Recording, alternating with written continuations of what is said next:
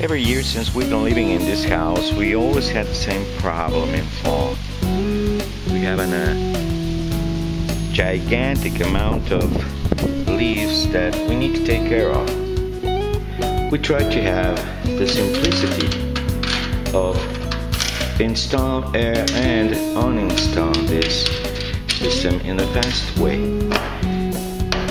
and at the same time at the same way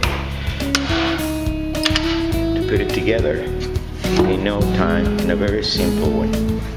As we can see here, this dock has a frame of wood that it seals perfectly with the edges of the shut of the tractor. We put this here, this locking system here underneath that catches here and another one that holds here on the side this other part and creates a very nice and tight fit. Easy to install on and off this locking system. There we go. then we just install the flyers. Very quick and our system is done most part. Then, release pipe, we can get the jet uh, power that we need to throw all the leaves.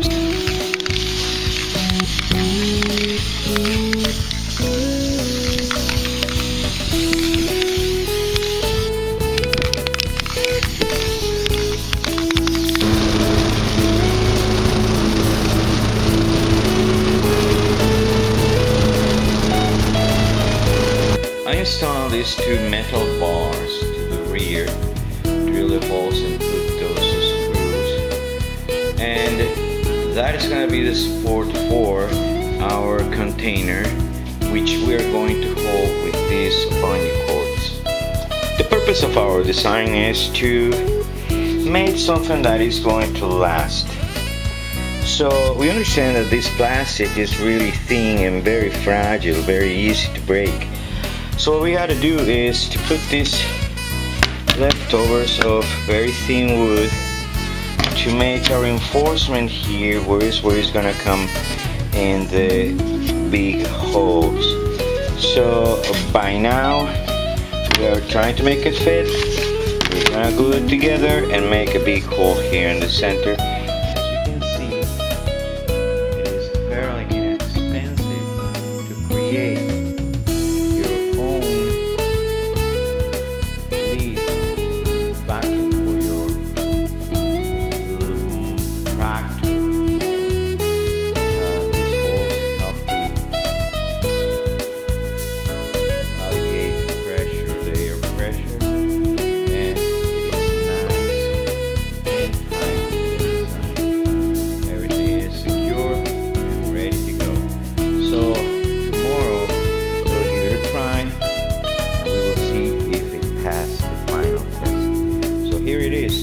Working